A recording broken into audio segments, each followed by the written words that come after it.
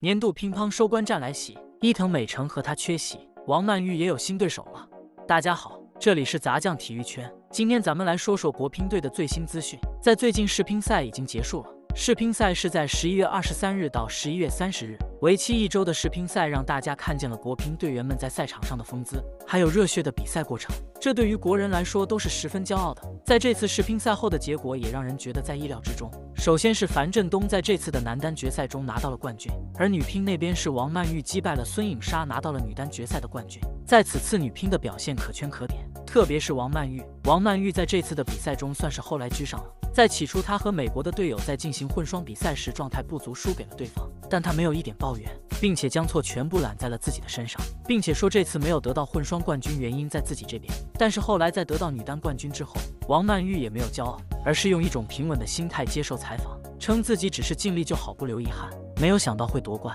可见王曼玉这次的格局之大，心态之好。而孙颖莎在这次的世乒赛女单决赛中只拿到了银牌，但她并没有因为输了比赛放弃。虽然在接受采访的时候有些哽咽，但孙颖莎也表示自己以后会继续努力，不会辜负大家对她的期望。而官媒人民日报也公开发文表扬了此次孙颖莎在比赛中的表现，也算是对孙颖莎的一种强大鼓励了。希望孙颖莎在接下来的比赛中可以继续发挥自己强悍的实力，将失去的冠军夺回来。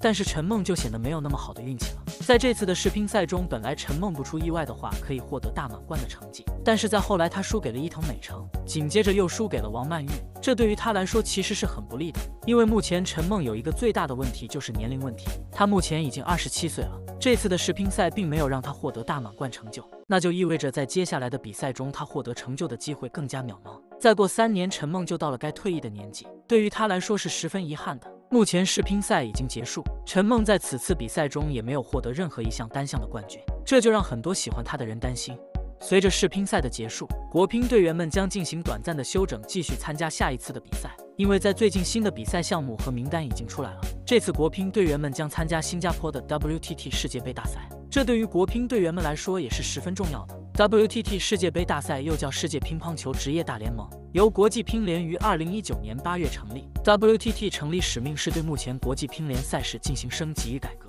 以提升乒乓球运动职业化与商业化，鼓励更多人参与乒乓球运动，从而提高乒乓球在全球的影响力。二零二零年六月二十九日，国际乒联宣布中国乒乓球协会主席刘国梁出任 WTT 理事会主席。而这无疑是给了国乒队员们一个信号，意味着刘国梁将选出国乒队伍中最为优秀的队员去参加在这次的比赛，并且在其中筛选出能参加下一届巴黎奥运会的人才。因此，这个比赛对于队员们来说同样是十分重要的。在世乒赛结束之后，这个年度乒乓收官大战，也就是 WTT 世界杯大赛也来袭了。时间是在十二月四日到十二月七日。虽然时间很短，但这个比赛对于国乒队员们来说意义非凡，因为这个比赛只设置了两个项目。分别是男单和女单，并且比赛制度也和其他的比赛制度不一样。它采用的是邀请制，根据乒乓球队员们的世界排名邀请，并且这两个项目中，每个项目被邀请的人数只有十六位，这就相当于这个比赛对参赛选手数量没有要求，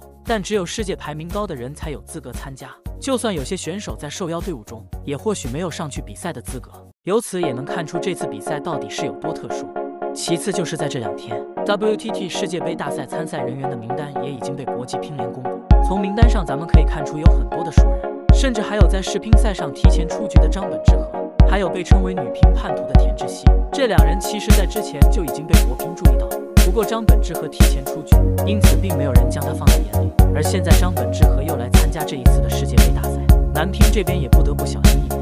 在名单中还值得注意的就是这一次比赛没有伊藤美。